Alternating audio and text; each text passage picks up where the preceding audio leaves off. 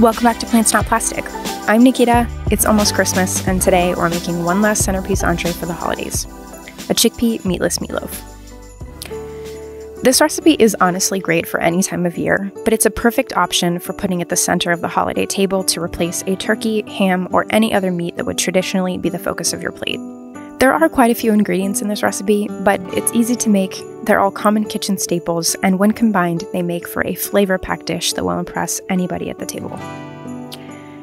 So here's everything you'll need for this recipe. I'll also leave everything in the description box below, along with a link to the blog post with some mouthwatering photos and a printable recipe card. While I make this recipe gluten free, you can just use regular if you prefer in place of oat flour or if you don't have rolled oats on hand. We'll start by making our oat flour before prepping all of our veggies.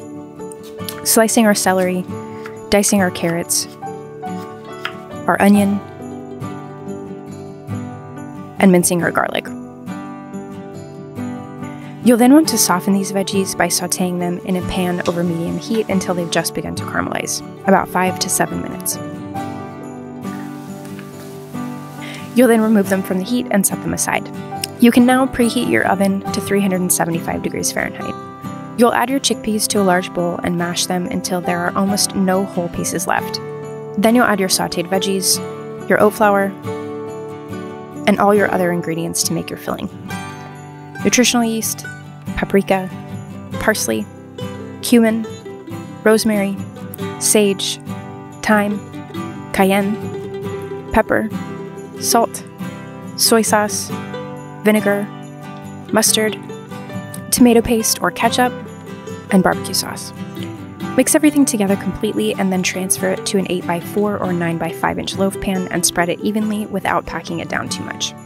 Packing it will make it dense and gummy when it comes out of the oven, so you want to work it in just enough to where it will fit comfortably in the pan. Cover it and bake for 30 minutes, and in the meantime, we'll make our glaze. In a small bowl, combine barbecue sauce, tomato paste or ketchup, and paprika and mix well. After 30 minutes, remove the cover, spread your glaze evenly over the top, and bake for an additional 20 minutes uncovered. Then remove it from the oven and allow it to rest for at least 15 minutes before slicing it. Letting it cool for this amount of time or longer will allow it to better hold together when you do cut into it.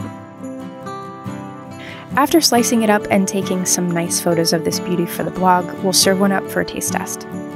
This loaf is flavorful, has fabulous texture, and can be eaten on its own or paired perfectly with other holiday favorites.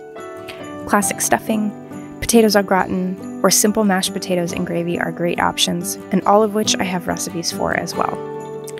It's moist, has a little kick from the cayenne, and only lasts about a day or so whenever I make it because it's so freaking good. But it does also store great as leftovers. For how it stacks up against an alternative, my recipe compared against both a non vegan meatloaf or a vegan meatless option. It will cost you about half or less to make, has up to 15 times more fiber, and you'll get to eat about as much of it or even a little bit more for the same number of calories. So that's it for today's recipe. I hope you try it out along with some of my other holiday dishes from this year. If you do, let me know in the comments. You can also subscribe to my blog for recipes right to your inbox and connect with me on social media for day to day content. And don't forget to subscribe, click the bell, give this video a thumbs up, and come back next time. Bye!